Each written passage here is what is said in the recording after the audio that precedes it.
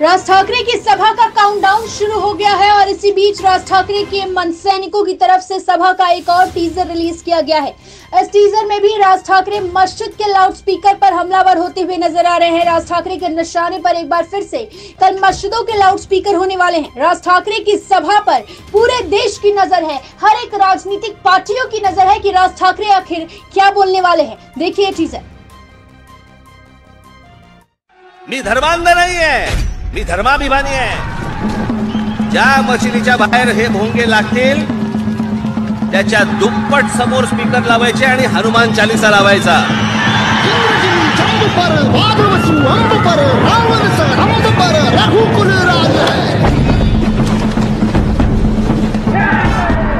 आणि माझं एक म्हणणं आहे या बाबतीत त्याला जर समजा सरळ भाषेमध्ये समजत नसेल ना ते एकदा काय आईला होऊनच जाऊन देत